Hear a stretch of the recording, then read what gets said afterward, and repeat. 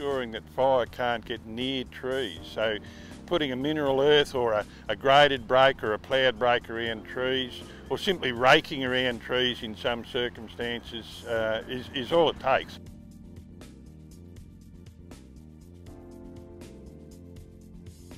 There's probably still some work to be done, but I think that people are realising the value of these natural resources. You can't replace a tree in a hurry.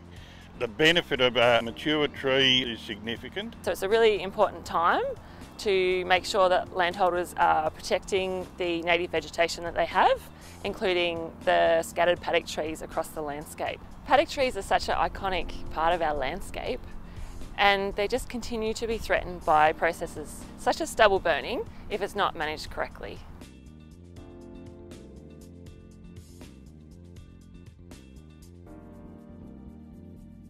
Burning trees are the, the biggest cause of deaths of firefighters in Australia. It's, it's a sad fact, but they are so unpredictable once they are burning um, where you have no understanding of when they will let go or fall or even drop branches.